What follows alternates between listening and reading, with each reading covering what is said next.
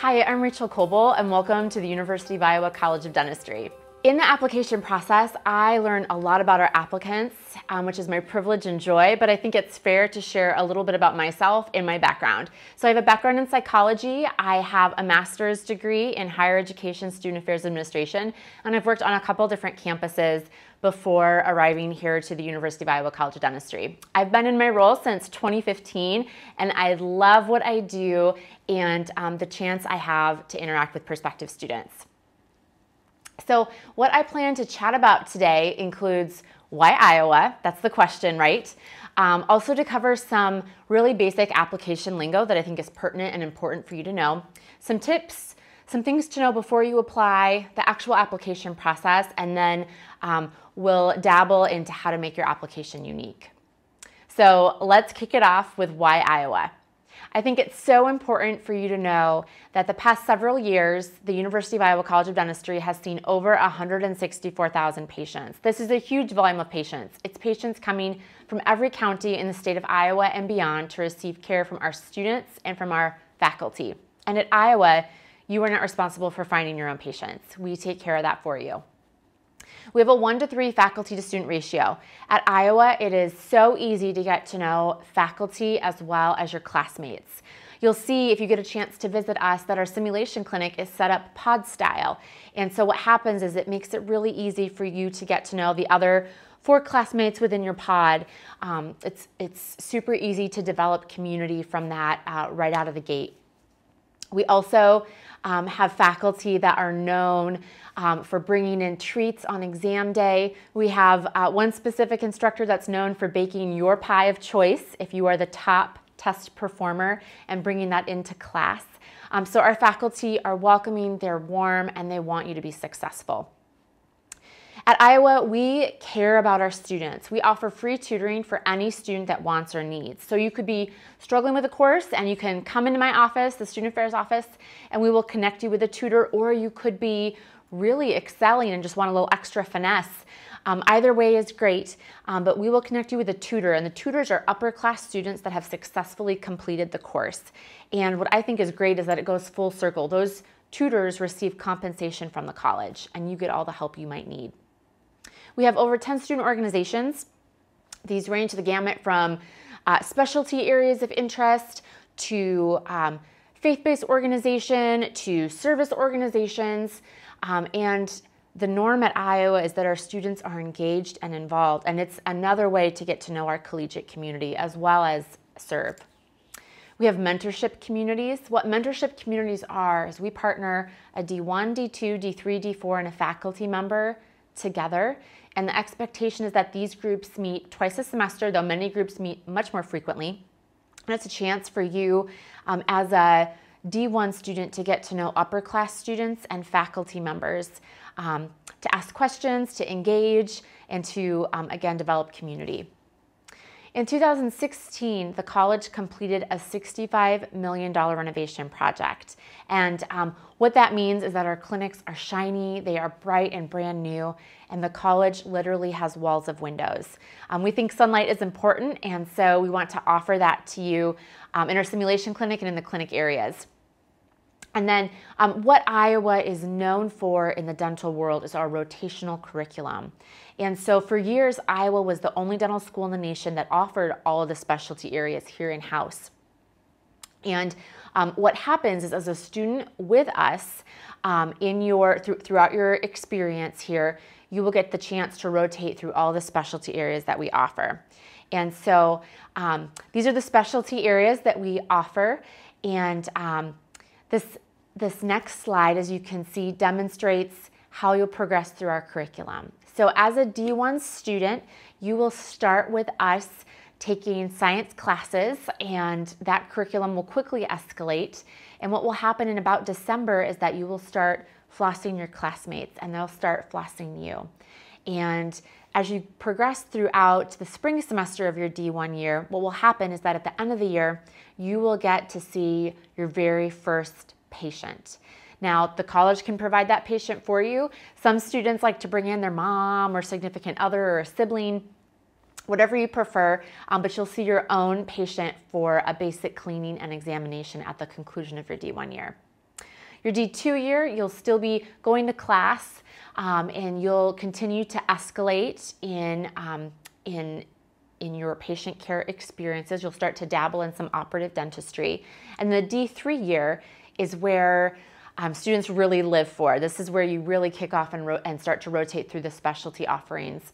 And so what happens is we put you into smaller cohorts with your classmates and you will rotate um, for about five to 10 weeks through each of the different specialty areas.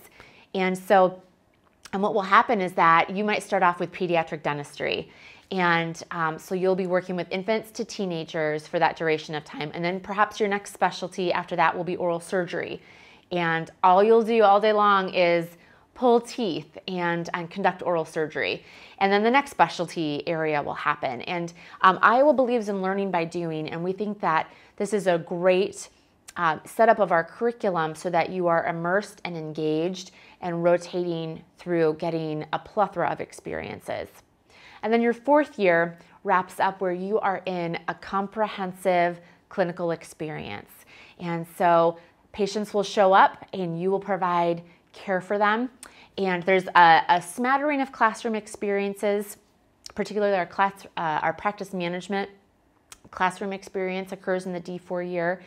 Um, but what will also occur is that you will spend five weeks outside of the College of Dentistry um, you're getting ready um, to, to fly from the nest, right? And so what happens is you'll practice underneath another dentist. Um, you get to rank order where you'd like to go. And so some students use that as an adventure. We have a, a location in Alaska that some students get excited about, and other students use it as perhaps an unofficial uh, interview experience to go to a demographic or community where they might like to practice in the future. So um, you get to have say in where you'd like to be. Now, I think it's important to talk about some basic lingo um, when we're talking about the application process, just to make sure everybody's on the same page. And so, what I want to share with you is um, ADEA, the American Dental Education Association. This is the parent umbrella over dental schools and the application process. And ADEA offers fantastic resources. Um, if you give that a Google, um, you can find uh, a lot of uh, a lot of preparation materials for you. The next one on the list here is the Dent Pin. Now, this is something that you apply for in order to take the DAT, the Dental Admissions Test. Now, you can, you can think about this like the ACT or the SAT, which you would have taken in high school. It's a test that has different topical areas that you're tested over, which coincidentally are our prerequisites, which we'll talk about in just a moment. And then this last um, this last acronym I want to cover is called ADSAS. It's A-A-D-S-A-S. It stands for the Associate American Dental School Application Service. I know it's a mouthful. It's okay if you mispronounce it. Um, but this is the application service that most dental schools in the United States take part in. And what happens is that it makes your life as an applicant easy. So it's a centralized application. So you just fill out your information one time, you check which schools you want to get your content, and then um, the application service, AADSAS, distributes it to the schools you've designated that you want to apply to. All right, some application tips. So I highly suggest that you apply early. Now, um, what this means is that every June is when the application opens for submission the application AADSAS, it tends to um, first become available to applicants in mid-May. So that means from mid-May until June, you have a few weeks to take your time to upload your information, to read through it really thoroughly. And if you are able to do that, I highly recommend that you schedule time um, to do that. The average application is anywhere from 30 to 60 pages in length. So it's, it's a beast to complete and it can take significant time. Um, but I suggest that when the submission date arrives that you are ready and that you submit on day one if you're able. Now, um, I also recommend that in addition to completing submitting your application that you have every item complete. And what this is, it's your DAT, it's three letters of evaluation minimum. You can have a total of four at maximum. So you wanna have all of those items together ready to submit when you can. Now, the date varies each year, which is why I'm not pinpointing an exact date. It depends on how the calendar falls. Um, but you can find that date on ADEA's website. I also recommend that you are honest in your application, that you read the instructions thoroughly. Um, I can always tell when someone has not read the instructions when they include their high school information. Um, the instructions clearly state that the clock, the clock begins once you're in college. And so, though I'm sure that you had wonderful high school experiences, unfortunately, um, we ask that you don't include those, that you just include once you have begun college to the present. You know, applying can be stressful. It takes a lot of time, it takes cash, um, it takes planning. Um, and so I recommend that you surround yourself with people that will remind you of your worth. Um, surround yourself with individuals that are going to support you and encourage you and remind you that you have great purpose. And then again, apply early. There are significant advantages to candidates to get their application in right from the get go. All right, before you apply, some important things to know. Um, I've listed out Iowa's prerequisites here. They are similar to many of the other dental schools in the United States, but take a look at those thoroughly. And then this is Rachael Kowbel's recommended timeline. There are a lot of different ways to do this, but what I recommend is that your freshman, sophomore, and junior year of college, you are taking prerequisite classes. You're getting involved in dentistry, you're starting to shadow, maybe you're in your campus's pre-dental club, and you're also getting involved in other campus and community experiences. Then, over winter break of your junior year, what I think is ideal is most most schools have a schedule where you wrap up your finals in December, and then you probably have about a month off. Um, and so, if you celebrate holidays, do that with your family, and then devote the remainder of your winter break to studying hard. And this is assuming that you have most of the prerequisites done, but study hard for a few weeks, really devote time to it, and then before classes begin in that spring semester, take the DAT. Now, the reason why I recommend this is because the DAT has a couple of rules you need to be aware of. One of, the, one of those rules is that you can only take the DAT three times. The other rule that is important to know is that you have to wait 90 days between test taking periods. And so, if you are like me, I'm not a great test taker, so I prefer to have a buffer. And so, if you take the DAT in January, you know, mid January, right before classes begin in your spring semester, if you take it and you do well, it's done. You can cross it off your list. If you don't do as you had hoped, it still gives you 90 days to re strategize, to recoup, and to take another crack at it in May, potentially after finals are done again and before that June submission date opens. So you don't have to do that. You only need one great set of scores. So if you feel like you want, um, just want to take it at the conclusion of your junior year, you know, in May, that's great. Some candidates that I encounter perhaps have some AP credit or they're a little bit ahead of the game.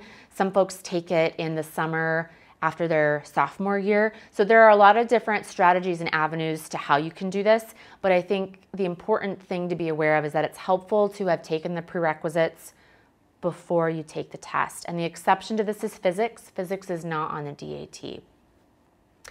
Um, then in the spring of your junior year, I recommend that you start asking for letters of evaluation. Now, um, I've, uh, I'll speak more to this, but I recommend a face to face conversation where you make this request as well as coming in with a copy of um, your personal statement and perhaps your resume too. And then the beginning of June is when you'll submit your AADSAS application. All right, so um, I've talked about the DAT, but what happens is you register for that DENTPIN, you apply to take the DAT, and then to take the DT, you're going to go um, to a testing center. It's called a Promes- Prometric Testing Center. And um, you have to schedule this in advance. If you need to change the date of your DAT, there is a fee associated with that. So um, be strategic when you're planning that. Make sure that it aligns with other things you might have going on in your study schedule as well. And um, do some research in advance. I don't want this to surprise anyone, but you're going to be scanned down. You'll have to have forms of ID, um, and it's an extensive test. It's a five hour test. Um, so be prepared, chat with other pre-dental students that have already taken the DAT, um, and they'll have lots of great advice to offer. Now the actual application. All right, it's called ADSAS. And um, before you hit the submit button, I advise that you do some research to see all the different categories that are on the application. And so one of those things is going to be a personal statement. Um, I think it's helpful to take some time and write and rewrite and brainstorm what you want to say in that personal statement. Um, I think it's also helpful to spend time looking at the different dental schools that you might be interested in. Now, ADEA, the American Dental Education Association, they have a great resource. It's called the Dental School Explorer, and it compares and contrasts all 67 dental schools in the United States. And it allows you to see where are the different class sizes, where are they located, um, how many in-state and how many out-of-state students do they accept. So um, you can find that on ADEA's website, and it's a great resource I highly recommend. Um, and then um, something else that I think is important to know is that you are going to be required to submit a transcript from every institution you've attended to ADSAS. So be thinking through, you know, did you take an AP class in high school? Did you take a, a class at a community college over a summer? And just be mindful that you'll have to submit information from those schools. All right, so on the application, it's gonna ask you about your background. So um, your address, it's gonna ask you some family information. Um, particularly what hangs some candidates up is their family income level. So that's a conversation you might need to have um, with your support or caregivers. There's also some qualitative components to the application um, that include writing out different awards, honors, um, your, your dentistry experience, your shadowing. Um, something that is fairly new to the ADSAS application is the um, delineation of was it an in-person shadowing experience or a virtual shadowing experience. You'll write about extracurricular, volunteer, work experience, research, and then um, academic enrichment. And what this means is, um, you know, did you participate in a summer experience at a dental school? Did you tutor? Did you um, attend perhaps a conference? Those might be applicable experience to include under academic enrichments. And so this is a great point in time to let your personality shine. I think half the battle is being memorable, right? On any given year, there's 12,000 applicants to dental school and about 6,000 will be admitted. And uh, this is Rachael Kowbel's soapbox, but I tell you what, I have never gone to a dentist or a doctor's office and said, what was your class rank or what was your GPA? You know, I, that's not what I care about. I continue to see my caregivers, my doctors, my dentists, my healthcare professionals, because I feel wanted and comfortable. They make conversation with me. They, I feel like they care about me. And so I would urge you as a prospective student to flex what you're passionate about here. You know, if you are in your campus water ski club, tell us about that. If you are passionate about knitting, include that in your application if you're in the knitting club. Um, those are things that make you memorable, and it's also down the line, those are the, the things, the conversations that your future patients are going to enjoy having with you. Your patients probably aren't concerned that the technical name for a cavity is a carie. They're probably not concerned about that. But what they are concerned with, do you want to chat with them about how their child performed at the Friday night high school football game? Um, or your involvement in the Parent Teacher Association, or whatever it might be within the community. So shine, show us. And I think that there is oftentimes this misperception that everything on your application needs to be related to dentistry or related to science. And while that is valuable and we love to hear about those experiences, I want to tell you that from Iowa's perspective, you can tell us all of your involvements on your campus and community. We want to know what you're passionate about. All right, also on your application, there is a query that asks you about your manual dexterity. So your hand-eye coordination, and I see candidates write anything from golfing to calligraphy to doing makeup and nails. Um, so whatever that looks like for your background, um, tell us about it. Um, and then there's your personal statement, and you get 4,500 characters to write anything you want. And um, I have a lot I could say to this, but I will leave it at that. You can find some great advice online at the University of Iowa and perhaps at other campuses too. We have a wonderful course that's designed to help students prepare personal statements for graduate school, which I, I highly recommend. And then your letters of evaluation. I tell you what, Iowa is your friend in so many ways. Um, Iowa does not dictate who authors your letters. We say whoever knows you best outside of a relative is who we want to hear from. And so many schools will delineate and say, we want to hear from a dentist and a science instructor and the president. Iowa doesn't do that, um, though you are certainly welcome to include dentists and um, science instructors. And if you can get a letter from the president, that's amazing. But um, whoever knows you best outside of a relative is who we want to hear. And I think that letters that are most impactful are when the authors of those letters can speak to your character and when they can cite specific examples of how they have seen your character shine. All right, uh, some quantitative components include your transcripts. Um, you know, I, I have heard some great advice from candidates. Yes, you have to send your transcripts into AdSAS, but it's also helpful to have a copy of your transcripts for you yourself to reference. Um, and then you'll be inserting your grades. Now, it's something for you to do some research on and just to be aware of, you can self-enter your grades and your classes, or you can pay ADEA, uh, uh, that you can pay AdSAS um, to enter that information in for you. Um, so Uh, do your research to see what option might be the best fit for you. Now, before you apply, I want to talk dollar signs. The DAT last I saw was $495 to take, and that's just if you take it one time. To apply to AADSAS is currently $259 for one dental program, and it's $112 for every additional dental school that you want to apply to. Now, I want to be clear, both the DAT and ADSAS have scholarship opportunities. They're called fee waivers. Um, and I um, can speak, I'm more, more comfortable speaking to the ADSAS fee waivers, but they are available on a first come, first serve basis. So do your research, check that out to see if that applies to you. So I'm not great at mental math, so I did the math for you. If you take the DAT once and you apply to one dental school, you're looking at $754.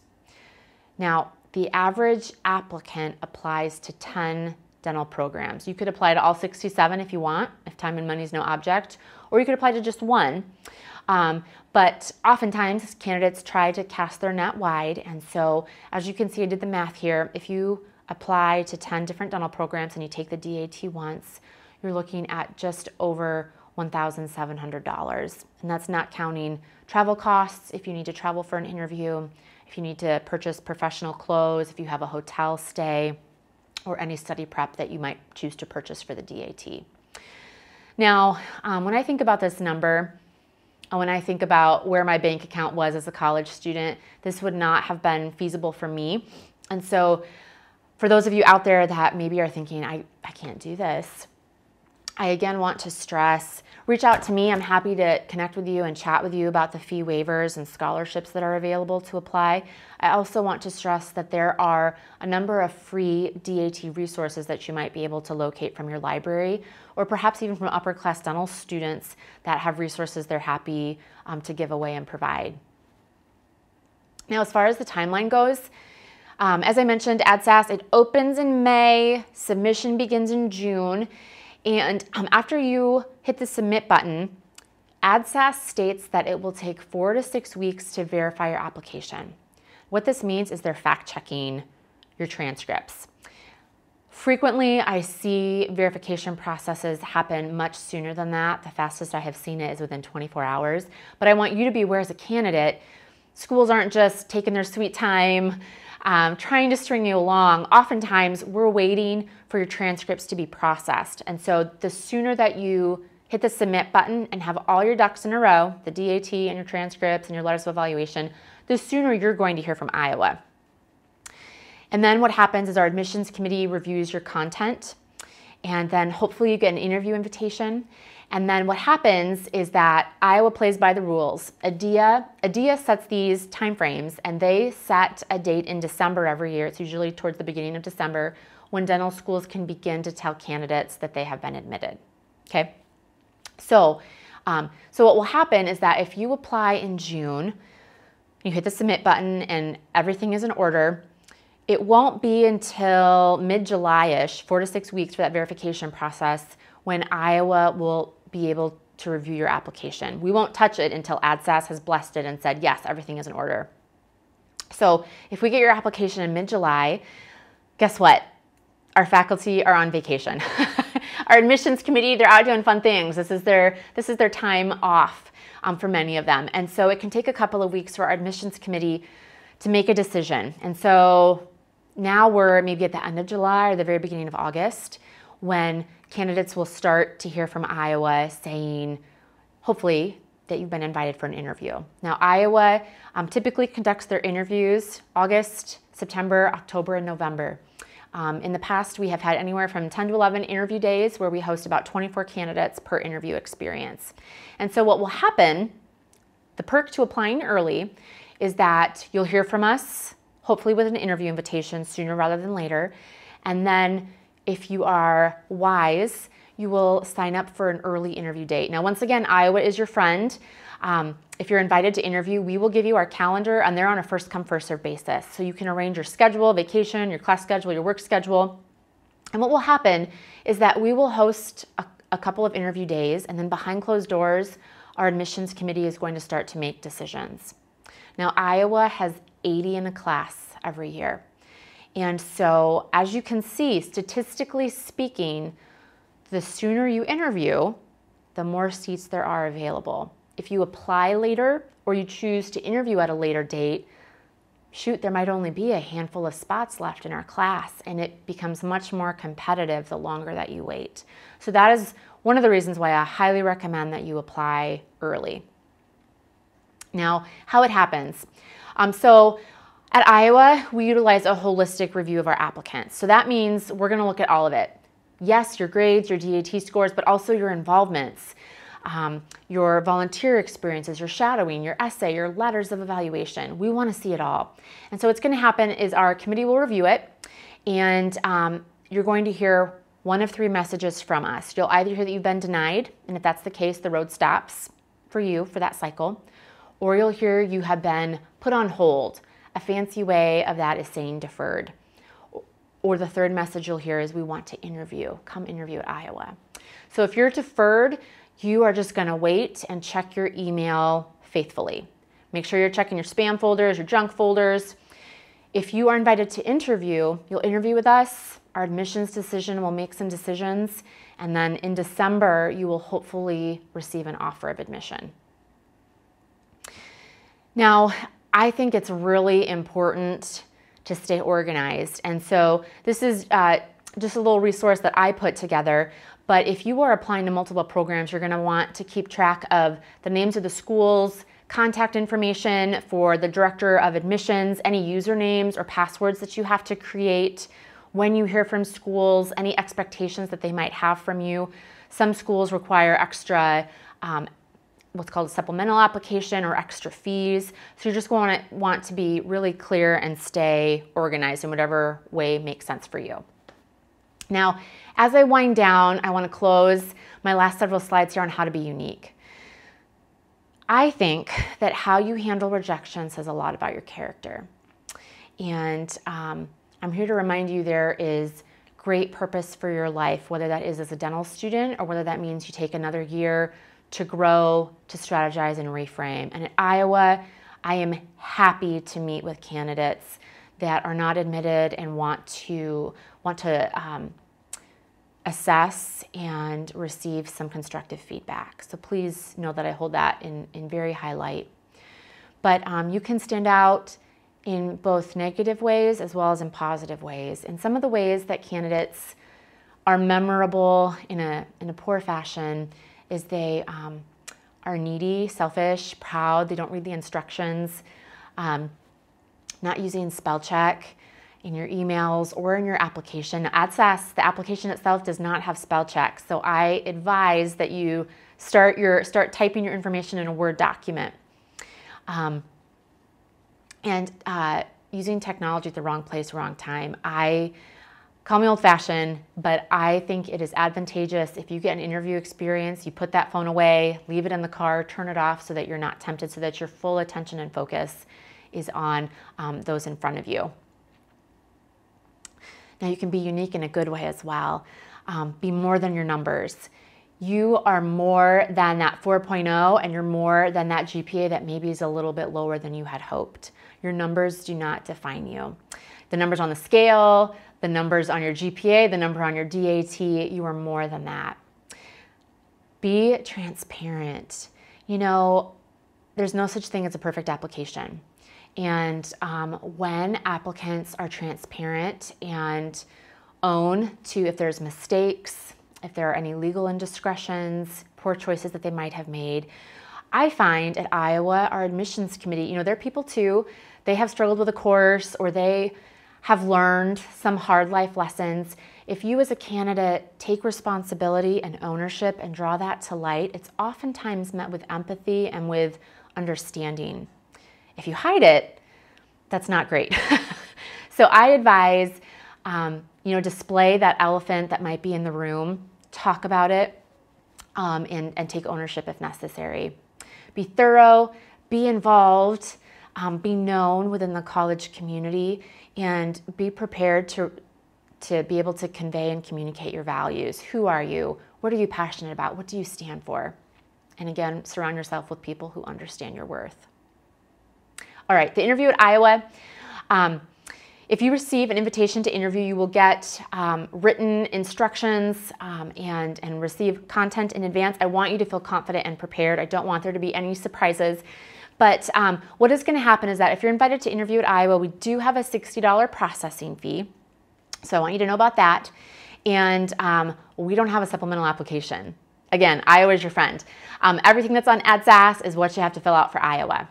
We will send you details about where to arrive to the dental science building. I'll actually send you a, a picture of our parking lot so you know where to park, you know what, I'll send you a, a photo of what door to enter in, and then I will be there greeting you. So excited to see you face to face.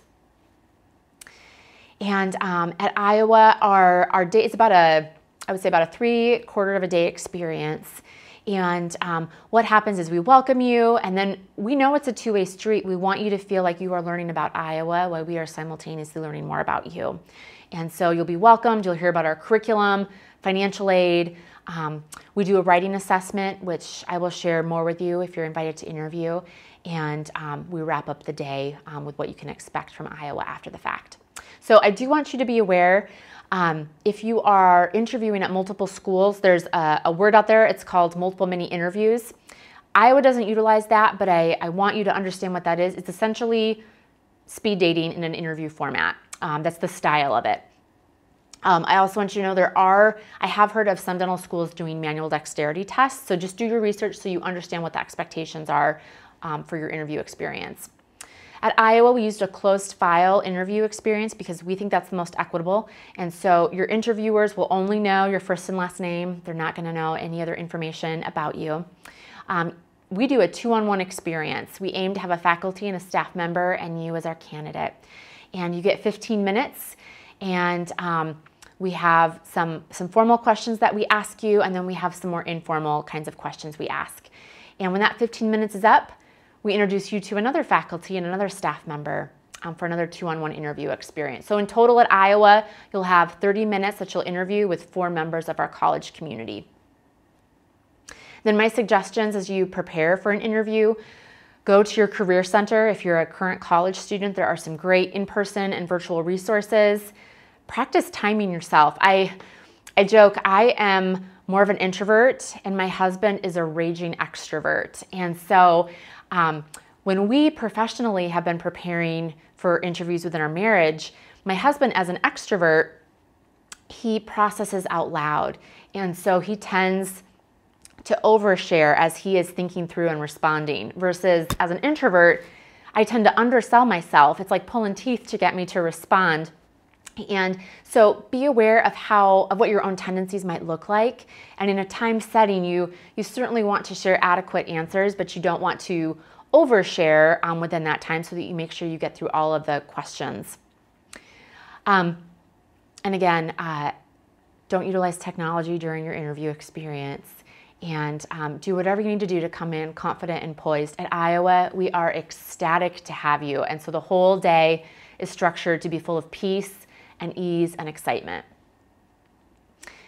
Now, this concludes my presentation. I want you to know that Iowa is cheering for you. I'm cheering for you. If you have additional questions, I um, am hosting, I plan to host additional webinars that will be posted um, on our website. I also have phone consults that you're welcome to sign up for, and I've listed my email address here. Again, I'm Rachael Kowbel. I'm the Director of Dental Student Admissions here at the University of Iowa College of Dentistry. We can't wait to see your application. Thanks. Go Hawks.